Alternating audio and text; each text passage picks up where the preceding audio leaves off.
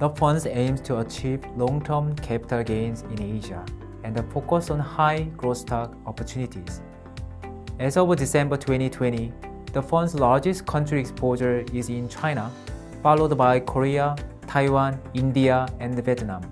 We have one core belief that is Asia is rich of future growth stock thanks to highly educated talent pool and a large domestic market.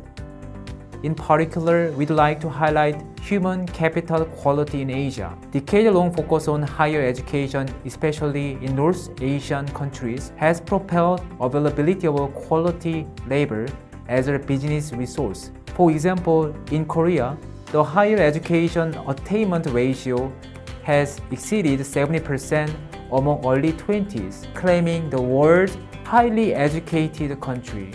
Also, human capital improvement in China is very impressive. Among the same age group in China, rose from only 10% in 2000 to 50% now. The acceleration in this ratio was completely new. China produces 5 million graduates every year in STEM major, i.e. science, technology, engineering, and mathematics. Also, Asian country has amassed R&D investment into the future businesses.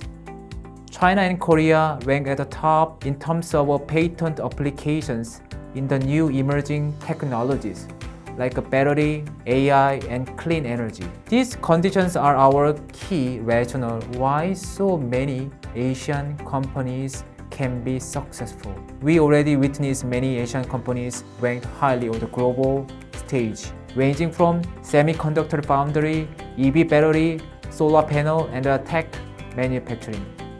In order to capture these growth opportunities, we put effort into competitiveness analysis. It may sound simple, but it's highly challenging task. It's because business dynamics in Asia change so quickly. Even number one player in certain industry cannot guarantee an edge in competitiveness when disruption trends happen. Our solution is to understand the whole supply chain through a global perspective.